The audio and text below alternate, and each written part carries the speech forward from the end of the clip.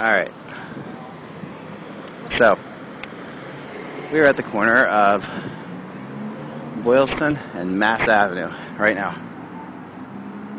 And I think this will work better because I, am going off my Wi-Fi card now. And uh, we're going to see. So, looking down there, there's Mass Avenue.